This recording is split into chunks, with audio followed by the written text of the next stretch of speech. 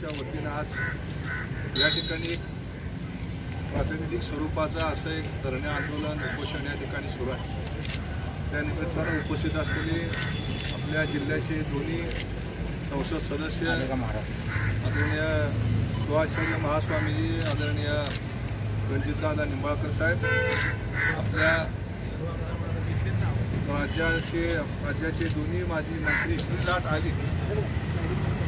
परंतु दुसरी लाट आल्यानंतर ज्या पद्धतीनं नियोजन ह्या राज्यामध्ये व्हायला पाहिजे होतं अशा प्रकारचं व्यवस्थित नियोजन न झाल्यामुळं आज आम्हा सगळ्या आमदार महोदयांना या ठिकाणी उपोषणासाठी किंवा धरणे आंदोलनासाठी बसावं लागतंय.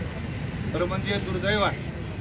पण आज वस्तुस्थिती आहे या जिल्ह्यामध्ये माणसं ऑक्सिजन वाचून तडफडून मरत आहेत आपल्या सगळ्यांना ज्ञात आहे पत्रकार बंधूंनासुद्धा ज्ञात आहे.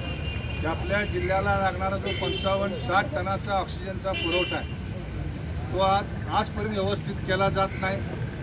तीस ते पस्तीस टन चाळीस टन एवढा पुरवठा होतोय. आणि त्याच्यामुळं ज्या दवाखान्यांना ऑक्सिजनची गरज आहे हायफ्लोसाठी व्हेंटिलेटरसाठी त्या पेशंटना त्यांच्या स्वतःच्या भरोश्यावरती त्या ठिकाणी सोडून दिलं जात आहे आज आम्हाला लोकप्रतिनिधी म्हणून घेताना सुद्धा खंत वाटते आहे. की सत्ता राजकारण हे सगळं आहे. पण ही माणसं वाचवण्याकरता ही सगळी सत्ता राजकारण आहे. पण आज दुर्दैवानं आम्ही त्या ठिकाणी कोणीही काही करू शकत नाही अशा प्रकारची परिस्थिती आहे. आज आमच्यासमोर लोक रडत आहेत माणसं तडफडत आहेत कुणाला ऑक्सिजन आहे तर त्याला इंजेक्शन नाही. इंजेक्शन आहे तर ऑक्सिजन नाही. जे आजारी नाहीत त्यांना लस पाहिजे. लस येते पण त्या लसीच्या वाटपामध्ये नियोजन नाही.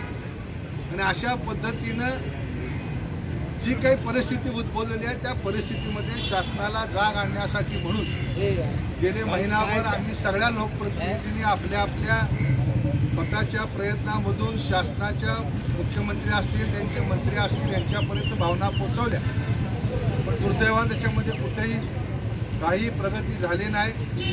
आपल्याला माहीत आहे की आज जिल्ह्याची गरज आहे रेमडेसिवीरची जवळजवळ पाच हजार